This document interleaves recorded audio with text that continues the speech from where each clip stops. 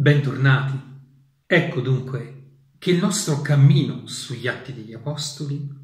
giunge nella sua seconda parte, vera e propria, quella in cui c'è proprio l'azione missionaria esclusivamente di San Paolo. Dopo che nei primi capitoli San Luca ci ha descritto la vita della comunità a Gerusalemme, dopo averci descritto l'attività missionaria di tanti evangelizzatori, Filippo, Pietro, Barnaba, Paolo, e dopo il grande concilio di Gerusalemme, dove tutti sono convenuti protagonisti di questo libro, potremmo dire così,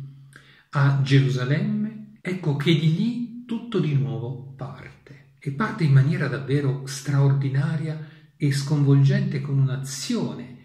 quella di San Paolo che è eh, bellissima, condotta dalla forza dello Spirito Santo, che non solo dà successo alla sua parola, alle sue opere, ma anche cambia radicalmente talvolta i progetti degli evangelizzatori. Ad esempio, Paolo vorrebbe addentrarsi nei territori dell'Asia minore e invece lo Spirito Santo lo impedisce, finché un sogno lo chiama addirittura a varcare le soglie dell'Asia e giungere in Europa. Giunge infatti in Grecia, a Filippi, dove comincia l'evangelizzazione, potremmo dire, dell'Europa, di un continente nuovo, di una terra totalmente estranea anche al suo modo di vivere, di pensare, di vedere. San Paolo viene condotto attraverso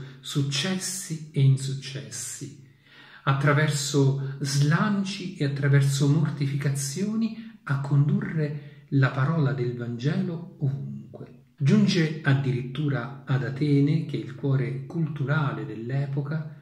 e ha l'opportunità di rivolgersi ai grandi saggi, ai grandi filosofi della sua epoca,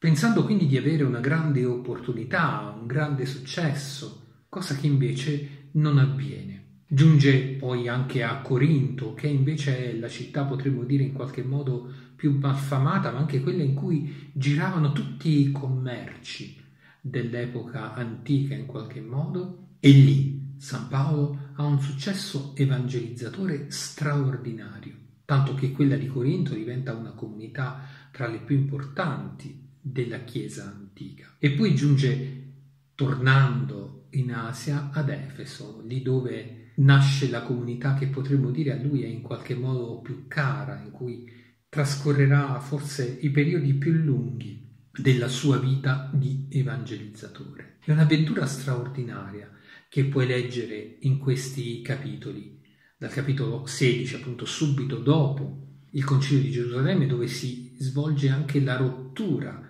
molto significativa tra Paolo e Barnaba, per cui si dividono campi di evangelizzazione a causa di un fraintendimento, di un piccolo litigio tra di loro e termina, potremmo dire, in una prima parte nel capitolo 20 in cui c'è il grande discorso ai saggi di Efeso, ma in qualche modo continua fino al capitolo 22, in quanto è lì che lui a Gerusalemme viene portato, viene arrestato, viene in qualche modo processato. Questa opera di evangelizzazione si conclude in una maniera davvero bizzarra, come è nella logica degli atti degli apostoli che San Luca vuol farci vedere, in cui il protagonista non sono le grandi intuizioni che hanno San Pietro, San Paolo, gli evangelizzatori, ma è la forza di Dio che opera attraverso il suo spirito.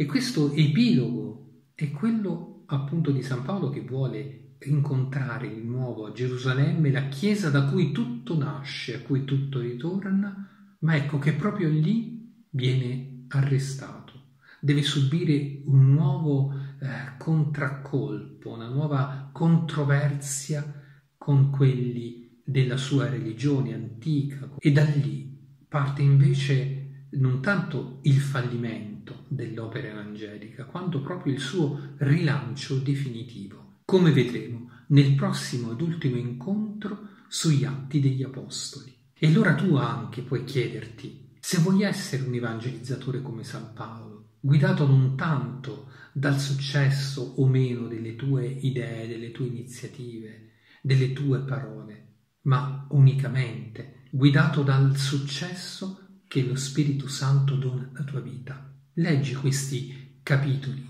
che sono davvero pieni di avventura. Lasciati conquistare dalla forza dello Spirito Santo e chiediti, io posso essere evangelizzatore così, come posso farlo? Ci vediamo il prossimo giovedì. Ciao!